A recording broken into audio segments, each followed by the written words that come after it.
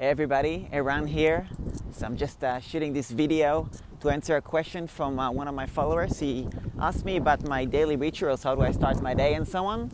So um, I, I, usually I get up in the morning, morning depending on what it is. Usually it's at night, honestly. Um, you know, anywhere between uh, 5 p.m. in the afternoon. Sometimes I get up, you know.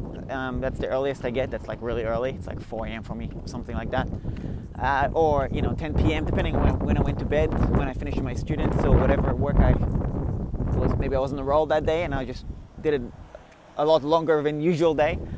Um, but I always have a shower in the morning. Always, always, always. Just get myself freshen up. You know, um, doesn't matter. Sometimes I shower at night, but I always shower in the morning. Have my breakfast. I always study during breakfast. I code on university or watch some MOOC videos or both.